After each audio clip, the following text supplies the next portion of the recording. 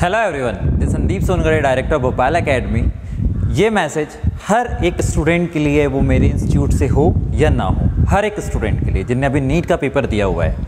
Guys आप लोग ने जितनी भी कोशिश करी, समय के हिसाब से आपने बेस्ट दिया है। लॉकडाउन था उसके पहले और आपका पेपर हुआ, शायद वन ईयर वाले भी बहुत अच्छे से नहीं पढ़ पाए। ऑनलाइन क्लासेस में वैसे ही बहुत अच्छे से समझ में नहीं आ पाता।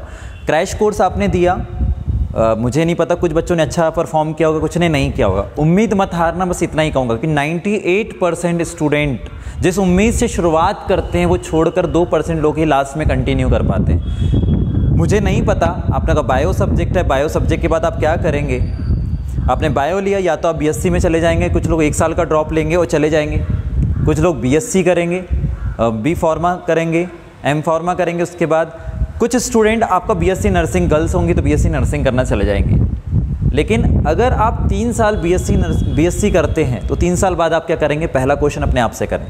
दूसरा, अगर बी फॉर्मा एम फॉर्मा करेंगे तो उसके बाद जो वर्क होता है उसको आप समझें, उसके बाद आप क्या करेंगे? प्राइवेट से बीएससी नर्सिंग करेंगे, उसके बाद फिर आपको एग्ज़ाम देनी पड़ेगी, लाखों रुपए लगाने का तो आपको ये सोचना पड़ेगा। मैं आपसे किसी तरीके से बातें नहीं कर रहा, मैं वो बातें कर रहा हूँ कि हम दुनिया को मोटिवेट करते हो दुनिया के हमने बहुत सारे मोटिवेटिंग वीडियो देखे कि हमें धैर्य रखना है, हमें पेशेंस रखना है, जो कमी रह गई उसको सुधार करना है।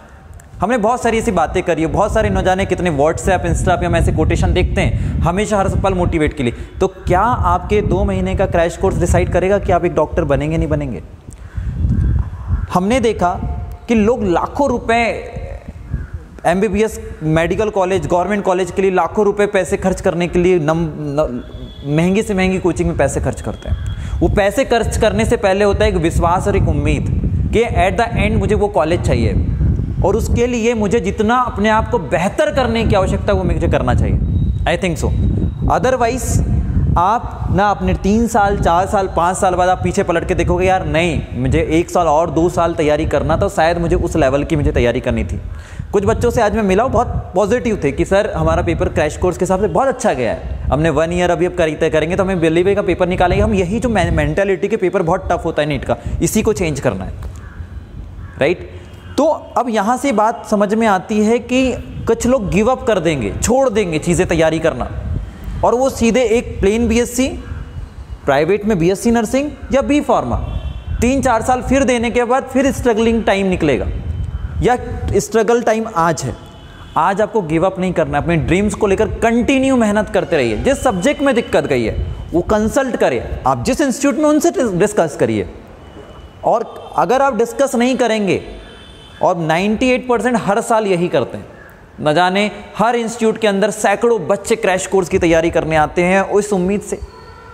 सीधी सी बात है, दो साल, तीन साल की चीज़ें दो महीने में कवर नहीं हो सकती और ना ही वो रिज़ल्ट तक जा सकती है। ये पहले से ही पता होना चाहिए। आपको पहले से ही पता होना चाहिए कि आपको दो से तीन साल लगते हैं किसी चीज़ में मेरिट में आने के लिए। छोटी सी बात, एक बच्चा बर्थ लेता है, वो चलना नहीं सीख पाता। ऐसे नहीं बोलेंगे पहले दिन से वो चल लें। तो आप वो एक मेडिकल एग्ज़ाम निकालना चाह रहे हो? लोगों के मायने में वो टफ है। तो आप कैसे उम्मीद कर रहे हो कि दो दो महीने में, और हमारे साथ बड़ी दिक्कत क्या है कि हम एक्सपेक्टेशन बहुत रखते हैं। मेहनत कम होती है एक्सपेक्टेशन ज़्यादा होती है। बहुत सारे बच्चे पढ़ते हैं। कुछ बच्चे क्लासेस आते हैं, उनका माइंडसेट घूमने फिरने में रहता है। और लास्ट में बोलते हैं कि नहीं, हमारा पेपर अच्छा नहीं गया। और ब्लेम टीचर पे और इंस्टीट्यूट पे होता है। नहीं, हम बड़े इंस्टीट्यूट में जाएँगे, बड़ा नाम होगा और वहाँ जाके हम पढ़ेंगे। आप किसी भी इंस्टीट्यूट में, जिस इंस्टीट्यूट में बेस्ट है, आप अपने ऊपर इंप्रूव करेंगे नहीं, मुझे मुझे सीट चाहिए, मुझे मेहनत करने की आवश्यकता आई थिंक सो जो मेरी कमी रह गई है, जिस तरीके से मैंने चीज़ों को समझी है, उस तरीके से उसे और बेहतर करने की कोशिश करनी चाहिए। मैं आप सभी से एक रिक्वेस्ट करूँगा, आप जिस भी इंस्टीट्यूट से हैं डजेंट मैटर मुझे कोई फ़र्क नहीं पड़ता। आप अपनी स्टडी अपने ड्रीम्स के लिए कंटिन्यू रखें। नहीं तो आप तीन साल बाद खुद सोचो कि करोगे क्या? यह आपके लिए क्वेश्चन मार्क है। अभी अगर आपने उसको डिटेल में नहीं पढ़ा, क्या होगा ज़्यादा से ज़्यादा? एक साल, दो साल वेस्ट होंगे। वो वेस्ट नहीं है। हमने कई मोटिवेशन कई स्टोरीज में सुना है कि जो आपका ख़राब टाइम होता है, वो आपको सिखा के जाता है। जब आप फेल होते हैं तो उसी से आप सीखते हैं। ताकि हम सफल कैसे हो सकें? तो हर व्यक्ति, हर स्टूडेंट हर पेरेंट से, और पेरेंट से भी यही कहूँगा कि अपने बच्चे पर उम्मीद रखें कि एक साथ इकट्ठे वो चीज़ें नहीं हो पाती। या हम सडन कहें कि नहीं, आप जाइए और कंटिन्यू करिए। किसी बच्चे का एक साल ड्रॉप हो गया, कोई बड़ी बात नहीं है। अगर, चलो बीएससी करा लोगे, करोगे क्या? एमएससी कर लोगे।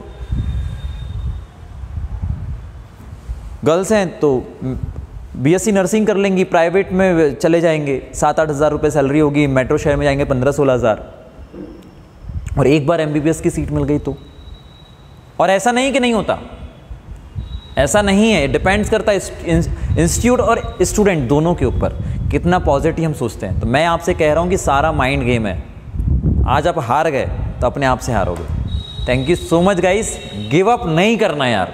जिस सोच से, जिस उम्मीद से आपने एक टारगेट लिया है, भले दो साल लगे, कितने लोगों को आप देखते हो आईएएस बन गए। आईएएस बन गए, उन्होंने बहुत टाइम दिया है। कई लोग लाइफ के बहुत टाइम के बाद सक्सेस होते हैं। इस टाइम को आप कंटिन्यू इस चीज़ में सीखें, धीरज से काम लेके, अच्छे से सोचें, उस व्यक्ति से सलाह लें जो लाइफ में, उस फ़ील्ड में कीर्तिमान हासिल किया है, कुछ अच्छा किया है। आप अपने साथ के कलीग फ्रेंड से सजेशन मत लो कि भैया क्या करना है? हाँ दोस्त क्या करना है? हाँ बहन क्या करना है? जिसका खुद फ्यूचर सिक्योर नहीं, उससे आप सलाह लेते हैं जनरली ऐसा होता है। तो आप उनसे सलाह लें जिनसे आवश्यकता है आपको। क्या करना चाहिए? और ये आपकी लाइफ डिसाइड करती है। क्योंकि ग्रेजुएशन पोस्ट ग्रेजुएशन करना एक ट्रेंड है कि हम अब ग्रेजुएट हैं पोस्ट ग्रेजुएट हैं। लेकिन लाइफ में उसके बाद क्या करना है, ये मैटर करता है। Thank you so much guys Sandeep Songadhe, Bhopal academy sign out thank you